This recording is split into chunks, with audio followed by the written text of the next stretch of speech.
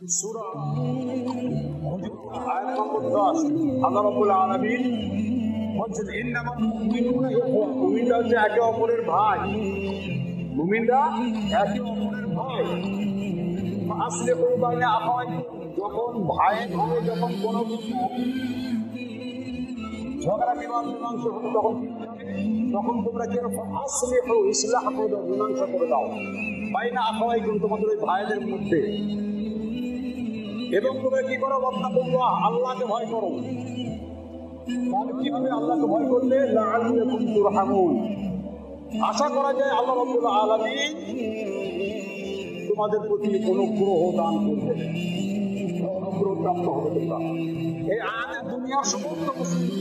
এক ভাতৃত্বের বন্ধনে আবদ্ধ করা হয়েছে। মুসলিম সমাজকে এবং দুনিয়ার অন্য কোনো আদর্শ বা মত ও পথের অনুসারীদের মধ্যে এমন কোনো ভাতৃত্ব বন্ধন পাওয়া যাবে না।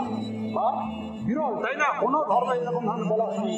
একজন অপরজনের ভাই, এ সম্পর্কে হাদিস এ সম্পর্কে আমরা জানব যে আল্লাহ রসুল সাল্লাহ থেকে হাদিস যে তিনি রসুল্লাহ সাল্লাহ সাল্লাম থেকে জাবির ইবনে আব্দুল্লাহ রবি আল্লাহ রসুল্লাহ সাল্লাহ আমার থেকে তিনটি বিষয়ে বায়াত নিয়েছেন তিনটি বিষয়ে কি নিয়েছেন বায়াত নিয়েছেন এক হচ্ছে আমি সলাদ প্রতিষ্ঠিত করব।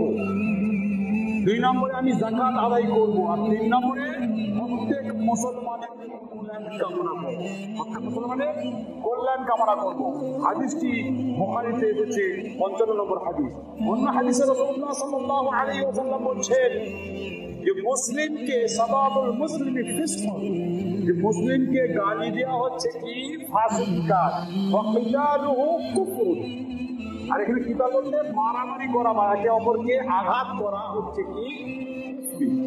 হাদিসটি বুখারী ছ হাজার চুয়াল্লিশ নম্বর হাদিস, মুসলিমের তেষট্টি নম্বর হাদিস। অমর হাদিসে রসুল্লাহ সাল্লাহ বলেছেন, প্রত্যেক মুসলিমের জন্য অপর মুসলিমের জান, মাল ও ইজ্জত হারাম করা হয়েছে। হাদিসটি মুসলিমের দু হাজার পাঁচশো চৌষট্টি নম্বর হাদিস।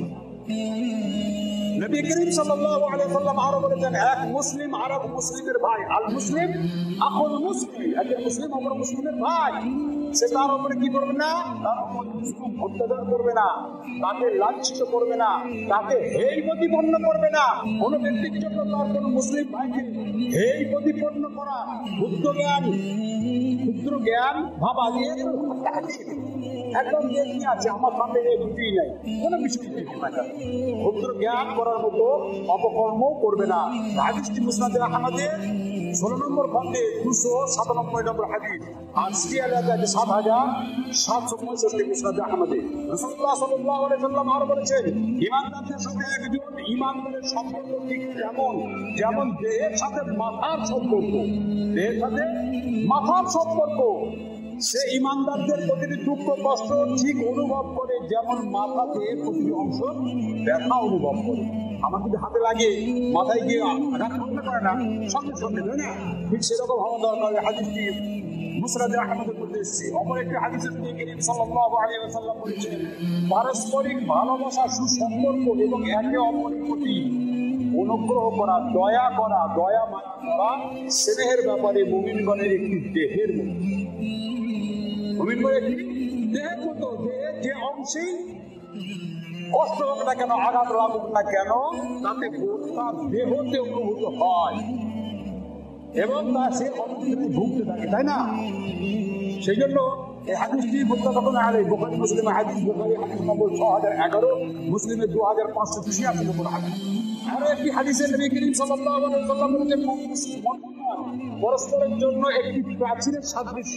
প্রাচীরের যেমন একটি অপরের মধ্যে যেভাবে কেটে দিয়ে একদম শক্ত বুনিয়াদ তৈরি করে, সেইভাবে মুসলিমও একটি প্রাচীরের সমতুল্য শক্তি লাভ করে।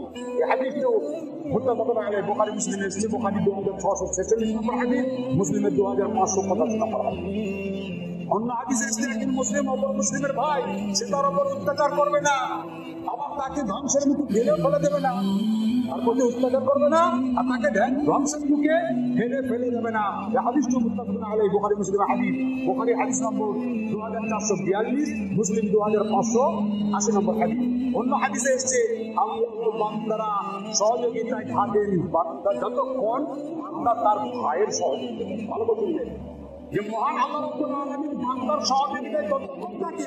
যতক্ষণ সে তার মুসলিম ভাইয়ের সহযোগিতায় কত বড় কথা ভালো বলবেন মুসলিম সহিহ মুসলিমের মধ্যে দিয়েছেন 2699 নম্বর হাদিস।